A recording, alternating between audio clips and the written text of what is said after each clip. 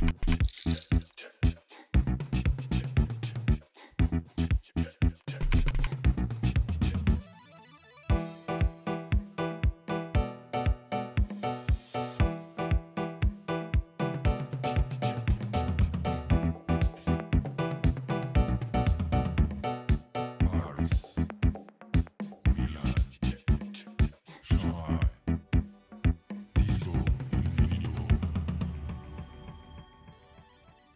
C'est beau, c'est élégant, on a l'impression que c'est facile, mais c'est des heures de travail derrière. J'avais deux convictions au moment où il fallait, euh, choisir mon métier, c'était que je voulais dessiner. Euh, la deuxième, c'était que le résultat de mon travail devait être tangible. Je vais donner euh, cette étincelle de départ et le fait que, cet environnement industriel soit combiné avec l'environnement du luxe fait qu'on ne, on ne peut pas se, se permettre d'accepter l'à peu près. Ce qu'on s'autorise, en revanche, c'est l'usage des, matières les plus appropriées à un projet avec les savoir-faire qui sont les, plus avancés pour créer le bagage qui va avoir ce supplément d'âme, ce supplément de poésie, d'histoire en plus à raconter. Ce modèle est un modèle iconique de la marque, c'est la classique Cabin Silver. Il y a effectivement un côté très industriel euh, dans ces produits, il y a un mélange aussi d'artisanat. On s'aide de de machine pour pouvoir mettre en forme des, des matières. L'aluminium, typiquement, ne se, met pas en forme à la force de, la main. Le faire évoluer, c'est le faire progresser avec son temps. Je me déplace effectivement souvent à Cologne pour s'assurer de l'harmonie d'un produit, de son ergonomie, entre ce qu'on a en idée sur le papier et la réalité. Il peut y avoir des, euh, des mondes. C'est ce mariage de la force de, de l'industrie et de euh, l'élégance de la manufacture qui donne naissance à ces produits.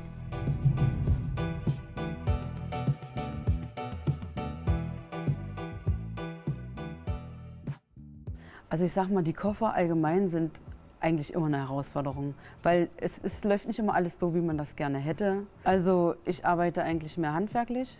Äh, schon wo ich hier angefangen habe, dachte ich mir, wow, das ist ein Koffer, der gefällt dir auf jeden Fall durch dieses Design, ja hochwertig ist.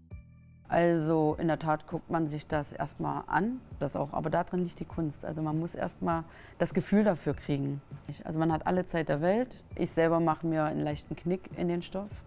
Dann kann ich gucken, wo, der Rahmen, wo die Rahmenmitte ist, weil tatsächlich jeder eine andere Technik hat.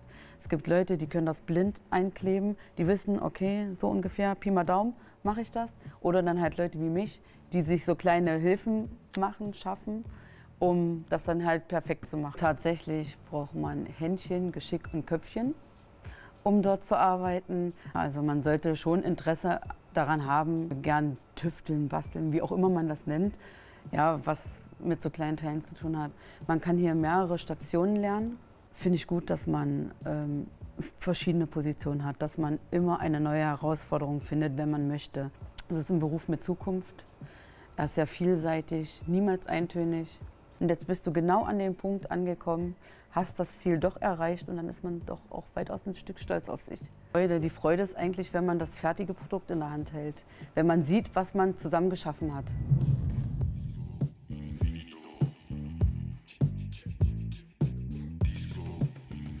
Biggest challenge for my job is to identify the market trend and especially the luxury travel sector. My clients coming into store is looking for their travel companions.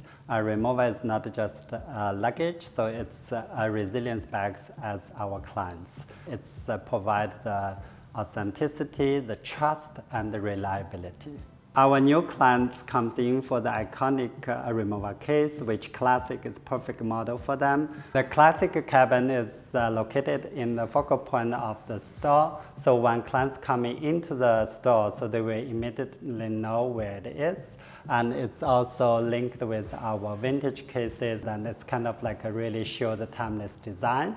And also that's uh, the real collections which really people want. You are finding perfect travel companion for them, which is allowing them to uh, add in their memories and uh, to share the stories with others. My advice for the young person who want to do what I do, the first you have to have the passion. The passion is about the products, the experience, or the client journey.